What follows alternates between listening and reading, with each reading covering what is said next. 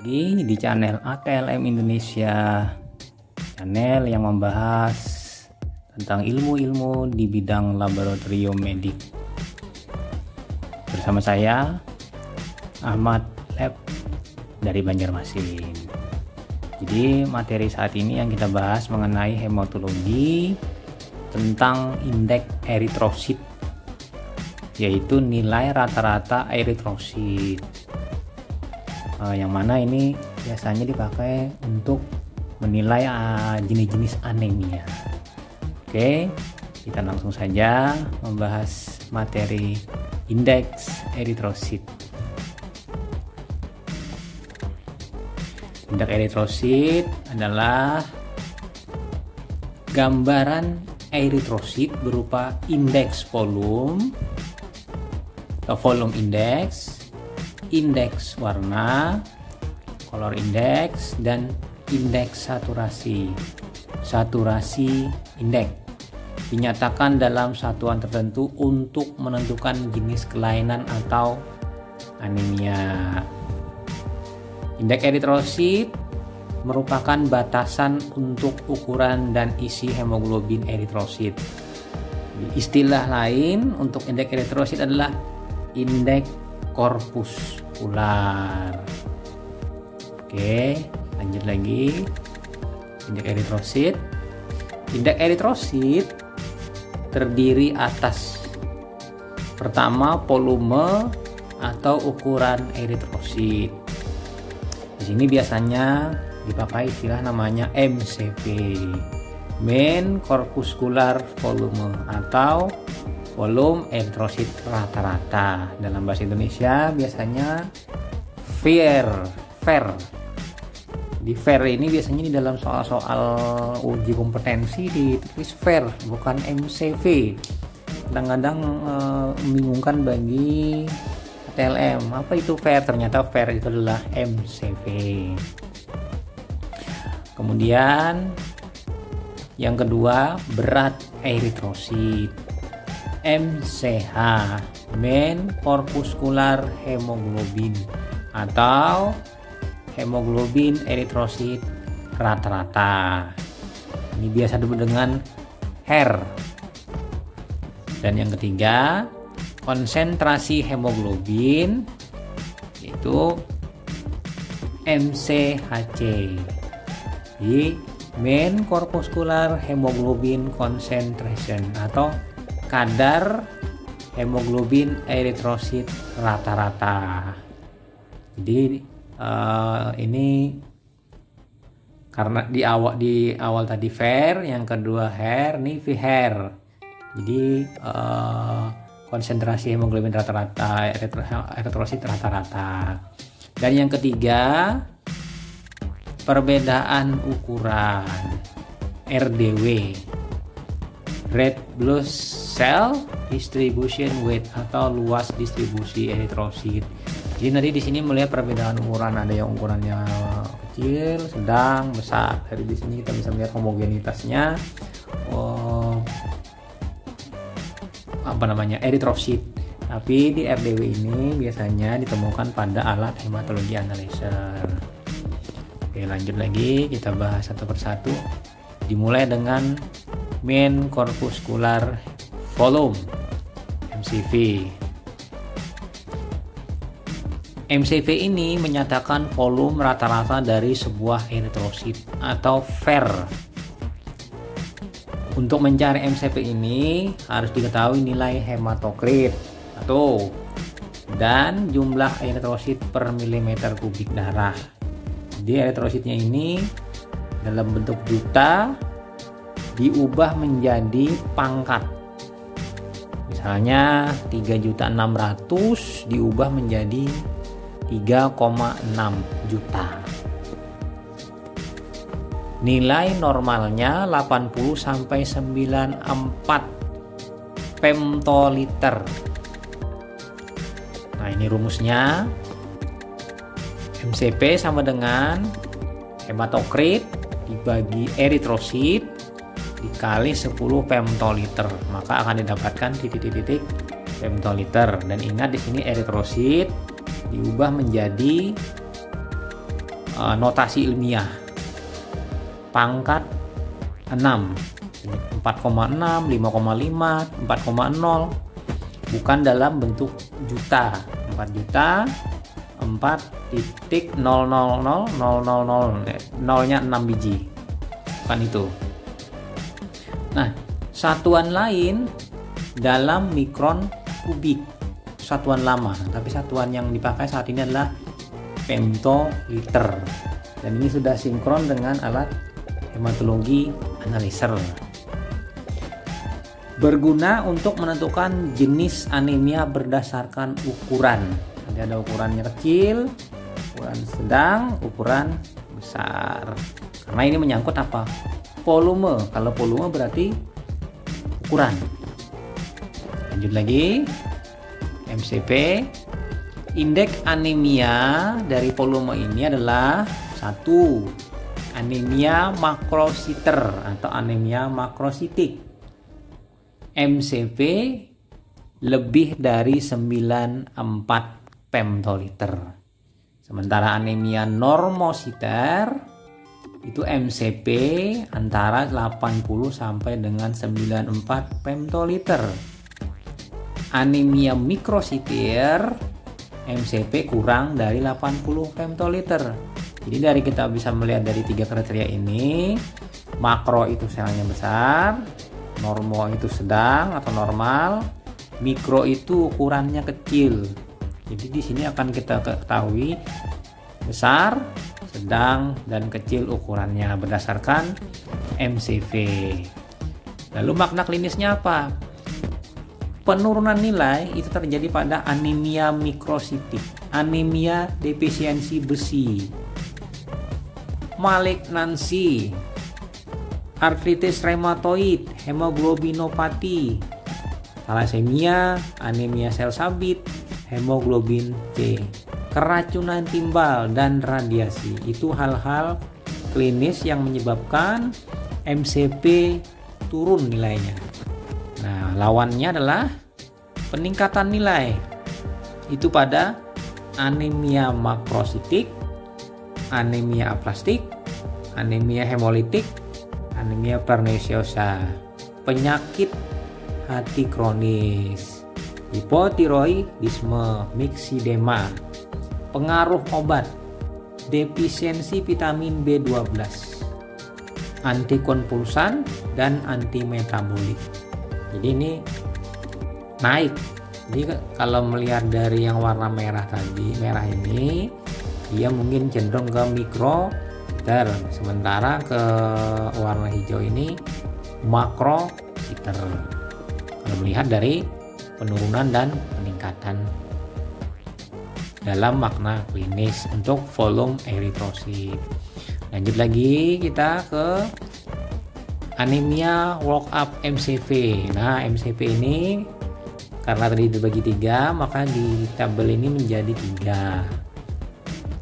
Mikrositik normositik makrositik. Jadi merah warna biru warna hijau dan merah kurang dari 80 80 sampai 94 di atas 94 itu kita bisa melihat di bawah bawahnya itu masing-masing kelainan jenis anemianya. Uh, anemia kurang besi, kronik infeksius, infeksi kronis, talasemia, hemoglobinopati, hemoglobinopati, anemia sideroblas. Kalau di normo itu yang normal-normal itu uh, penyakit kronis, uh, ida di awal-awal kurang zat besi. Kemudian di hemoglobinopati juga sama, primary marrow disorder, combine deficiency, increase destruction. Nah ini eh, hal-hal yang pada normositik.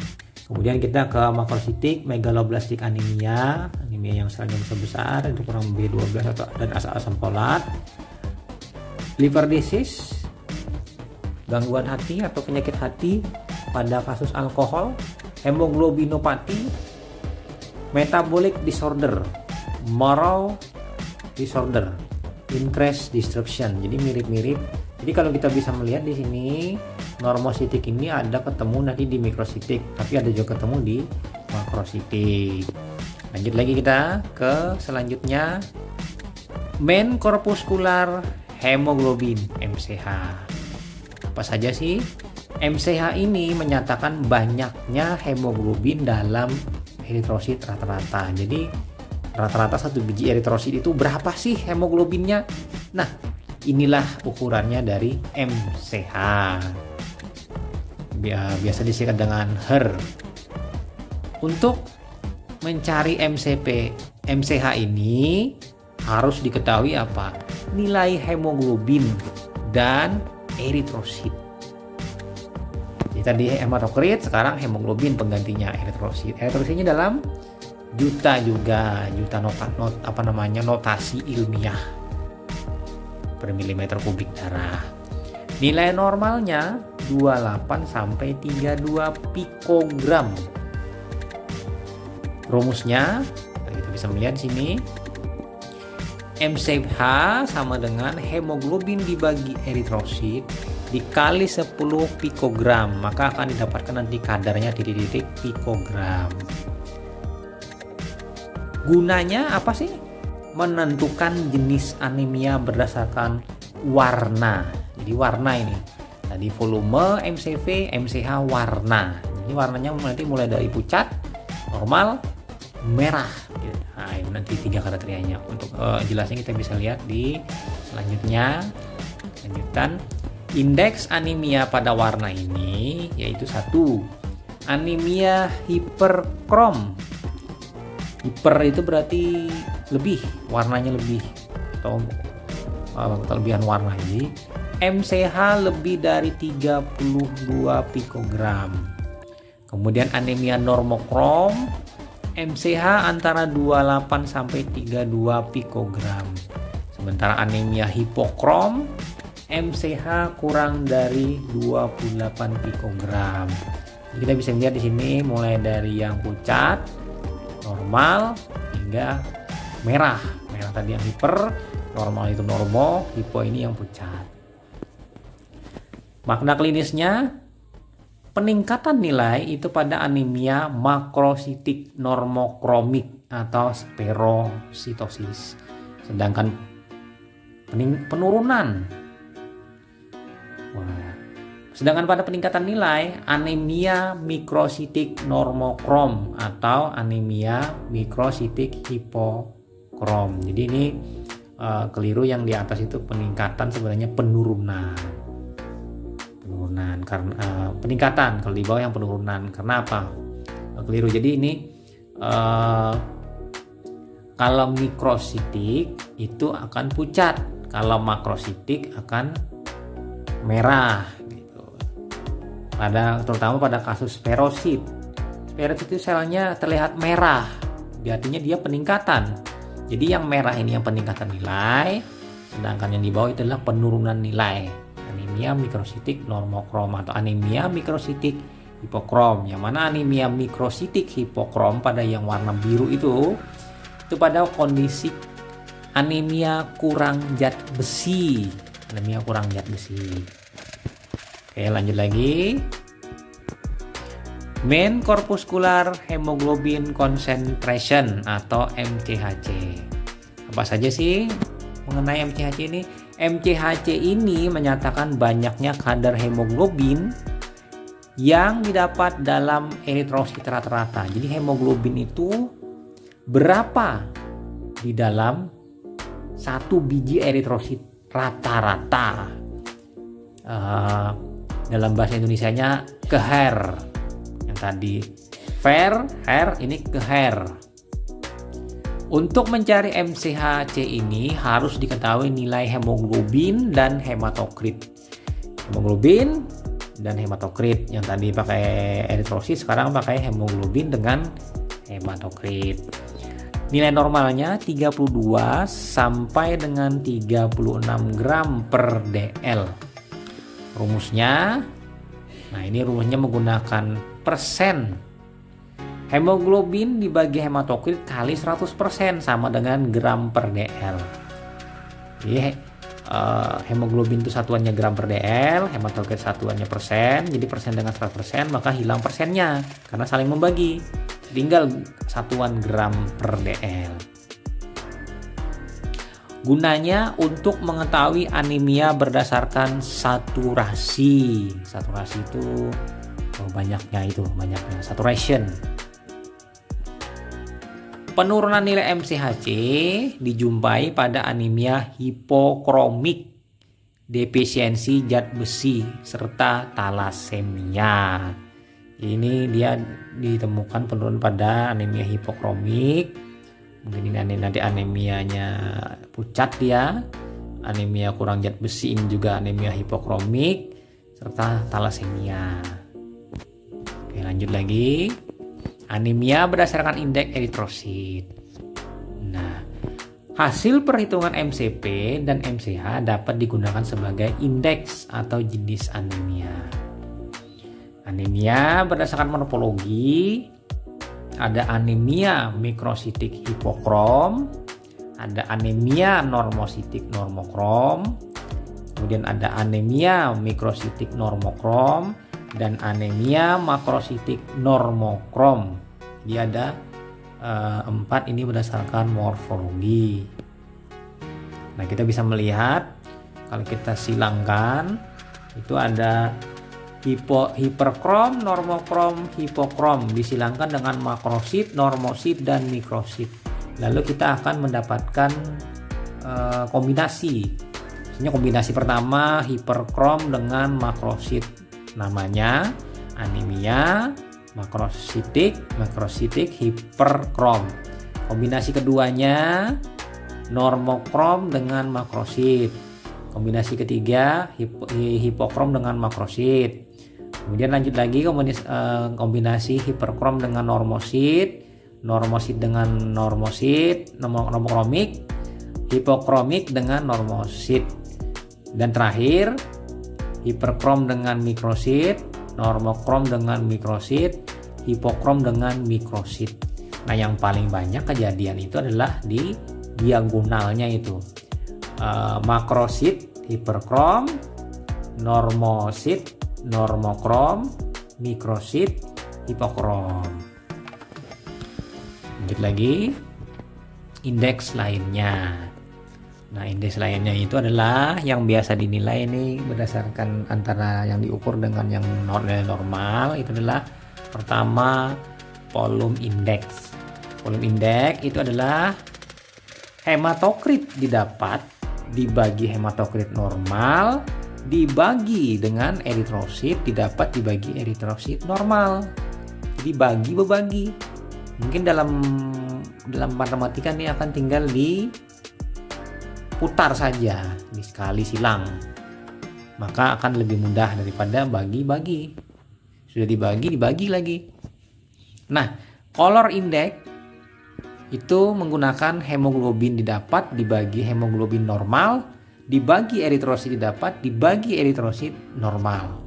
Sementara saturasi indeks hemoglobin didapat dibagi hemoglobin normal dibagi hematokrit didapat dibagi hematokrit normal yang mana ketiga-tiganya uh, indeks ini memiliki nilai normal 0,9 sampai dengan 1,1 bila kurang itu di bawah 0,9 apabila normal 0,9 sampai 1,1 apabila lebih di atas 1,1 lanjut lagi red blood cell distribution with RDW ini biasanya ada di hematologi analyzer RDW adalah perbedaan ukuran luas dari eritrosit. RDW adalah pengukuran luas kurva distribusi ukuran pada histogram, misalnya pada hematologi analyzer. Nilai RDW dapat diketahui dari hasil pemeriksaan darah lengkap full blood count atau FBC atau CBC dengan hematologi analyzer. Nilai RDW berguna untuk memperkirakan terjadinya anemia dini sebelum nilai MCP berubah dan sebelum terjadi tanda dan gejala. Jadi melihat dulu dari RDW distribusinya. Apabila distribusinya agak-agak lain, dia akan dideteksi selnya bervariasi atau homogen. Mungkin besar-besar semuanya, sedang-sedang semuanya, kecil-kecil semuanya, atau ketiga-tiganya ada. Ini akan ketahuan sebelum MCP-nya diketahui. Kalau di, Kalau sudah MCP diketahui, nanti ada yang ukurannya besar saja, kecil saja, atau sedang saja. Sudah ke MCP dan sebelum terjadi tanda dan gejala, belum ada gejala, masih permulaan. Seorang itu dikatakan anemia, belum dia. RDW sama dengan SDRBC dibagi MCP dikali 100% maka didapatkan persen. Kita lanjut lagi di sini. RDW itu normal pada populasinya bila uniform. Artinya populasinya homogen. Apabila dia tinggi, populasinya double. Beda. RDW jika meningkat diperkirakan didapatkan ukuran bervariasi dari RBC. Normalnya RDW 11 sampai dengan 15. Jadi normalnya 11 15. Apabila dia lebih dari 15 nanti tidak homogen. Peningkatan nilai RDW dapat dijumpai pada anemia defisiensi zat besi, asam folat, dan vitamin B12, anemia hemolitik, dan anemia sel sabi. Jadi nanti e, kasus-kasus inilah ditemukan nanti gangguan atau kelainan pada RDW. Karena apa? Sel-selnya tidak uniform, tidak homogen, ukurannya beda-beda. Nah, ini soal perhitungan bagi teman-teman yang uh, ingin menghitung pemeriksaan laboratorium didapatkan data sebagai berikut. Hemoglobin 9 gram per dl, eritrosit 3,1 juta sel per milimeter kubik darah, hematokrit 28%, nilai normal hemoglobin 15 gram per dl, eritrosit 5 juta, dan hematokrit 45%. Nah, jadi teman-teman ATL Indonesia coba ambil kertas kemudian kerjakan soal berikut ini. Pertanyaan pertama hitung MCP, MCH dan MCHC milik pasien. Pertanyaan pertama. Pertanyaan kedua hitung volume index, color index dan saturation index pasien. Ini tadi yang saling bagi-membagi yang ketiga, sebutkan jenis anemia pasien. Anemia apa dia? Itu jelaskan nanti dari berdasarkan MCP, MCH. Jadi kita bisa melihat itu aneminya apakah nanti anemia uh, normokromik normositik, mikrositik hipokrom atau anemia jenis lain. Nah, kita bisa melihat di situ. Oke, lanjut kita ke analisis kasus pendekatan asumsi, estimasi, perkiraan. Jadi di sini pertanyaannya, bolehkah hasil hematokrit dan RBC dipakai hemoglobin perkalian atau pembagian 3 kali 3 bagi 3? Kira-kira mana kira-kira yang cocok ini? Bolehkah? Nah, kita lihat di sini. Pertama, hemoglobin sama dengan hematokrit dibagi 3 misal hematokrit 45 maka HB nya 45 dibagi 3 15 gram per dl. Wah enak dong. Hematokritnya 45 HB nya berapa? 15 mungkinkah seperti itu? Yang kedua eritrosit sama dengan hemoglobin dibagi 3 misalnya hemoglobinnya 12 maka eritrosit 12 bagi 3 didapatkan 4 juta. Uh, enak dong kalau seperti itu. Nah, kita bisa melihat di sini dulu. Jangan dipakai cara ini, tetapi hanya untuk estimasi saja. Jadi jangan dipakai, tapi gunakan saja sebagai estimasi, perkiraan terdekat. Nah, apabila kita menggunakan yang di atas tadi, yang warna merah dan warna biru, maka hitung MCP, MCH, dan MCHC akan didapatkan selalu hasil apa? Anemia, normositik, normokrom. HB, mengukur HB saja, kemudian HB bagi 3, hematokrit, tadi. Jadi HB bagi 3 eritrosit, HB kali 3 hematokrit, lalu dimasukkan ke rumus MCP, MCH, MCHC. Maka anemianya normositik, normokrom. Nah, kita bisa melihat di warna merah itu ada berbeda, berbeda pada saat mengukur hematologi analyzer. Kemudian warna biru, warna hijau dan warna uh, apa namanya ungu. Ini beda. Yang pertama itu hemoglobinnya 11,4. Apakah 11,4 dibagi 3 itu sama dengan 3,68? Tidak. Apakah 11,4 itu dikali 3 sama dengan 34,8? Beda. Kemudian HB-nya yang warna biru 10,9 dibagi 3 apakah 3,57? Ya beda. Kemudian 10,9 dikali 3 apakah 37,1? Tidak. Nah, seperti itu. Jadi beda. Yang keempat lagi HB-nya 10,9 bagi 3 apakah 4,16 atau dikali 3 31,0 atau yang keempat 10,9 dibagi 3 3,57 atau 10,9 dikali 3 37,1 beda kan jauh? Kalau 10,9 itu kita bulatkan 11 11 kali 3 berapa? 33 kan beda hematokrit 37,1 jadi di sini penggunaan ini hanya sebagai estimasi pendekatan saja asumsi supaya sudah agak sudah benarkah kita melakukan pemeriksaan? Kalau jauh sekali stream misalnya nih tadi kan 10,9 nih. Atau yang dibulatkan jadi 11 yang paling bawah warna warna ungu. Setelah kita kali tiga ternyata uh, keluarnya kan 33 di situ 37,1 nah yang salah itu apabila nanti 42 atau 45 hematokritnya. Nah, itu yang yang jauh. Nah, itulah yang gunanya kita melakukan tapi namanya apa?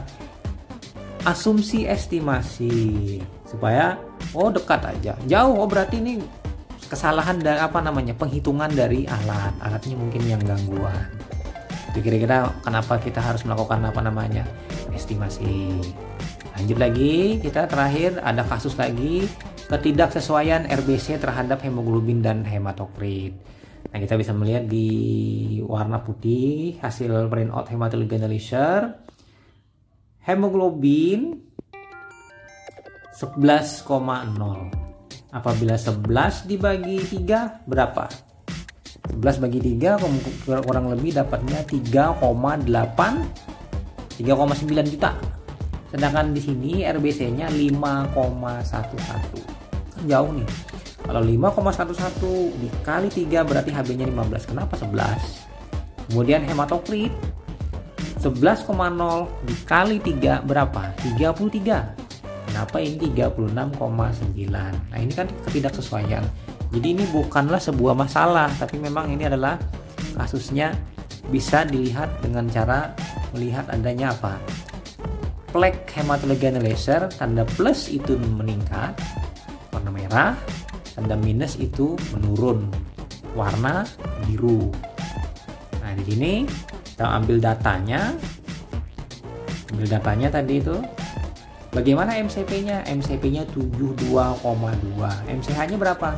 21,5 jadi apa? Kalau kita melihat MCP rendah MCH rendah. Berarti kita melihat apa? Selnya itu kecil-kecil pucat. Selnya kecil-kecil dan cat tapi jumlahnya banyak. Kenapa jumlahnya banyak? Kita melihat dari RBC-nya yang tinggi. RBC tinggi tapi pucat-pucat dan kecil-kecil. Nah seperti itu tadi kita melihat. Dan untuk itu karena tidak sama kalau kita melihat pakai estimasi AB bagi 3 akan beda. 11 bagi 3 3,66 yang tadi kita tadi kemudian hematokrit bagi 9 itu sama dengan RBC 36,9 bagi 6 4,1 kan beda ini. Sedangkan di RBC nya 5,11 dengan estimasi. Nah untuk jelasnya seperti ini tidak boleh teman-teman melakukan apa namanya memponis bahwa alat ini benar atau salah atau tidak benar alat ini. Jadi kita harus membuat hapusan darah dulu. Buat hapusan darah setelah itu lihat di lapang pandang Ternyata setelah di lapang pandang, sel RBC-nya kecil-kecil. Kecil-kecil, jumlahnya normal. Banyaklah normal. Pucat karena kurang HB per selnya. jadi di situ uh, di gambaran di anunya selnya itu hanya bulat-bulat saja dan kosong selnya tidak merah-merah tapi cuma uh, cuma member-memberannya saja di dalamnya kosong ya pucat lah uh, sel dominan itu akan ditemukan apa? Mikrosit sel yang kecil-kecil. Mikrosit. Dan juga di situ ada sel anulosit jadi kalau kita menyimpulkan apa? Jumlah selnya banyak tapi kecil. Dan tiap sel sedikit HB sedikit HB jadi kita bisa mau mengasumsikan apa? Uh, pucat kecil-kecil anggaplah sebuah ruangan kamar itu isinya anak-anak. Anak-anak kecil-kecil dia pucat. Kalau misalnya orang dewasa misalnya orang-orang dewasa itu orang normal. Tidak usah banyak-banyak untuk memenuhkan sebuah kamar. Nah seperti itu. Kalau orang yang gemuk besar-besar itu mungkin yang makrosit besar-besar nanti. Jadi beda nanti nih jadi kalau kita melihat asumsinya seperti itu sih. Jadi kesimpulannya ini ketidaksesuaian tapi dengan dikoreksi pakai hapusan ternyata memang ketidaksesuaian ini benar.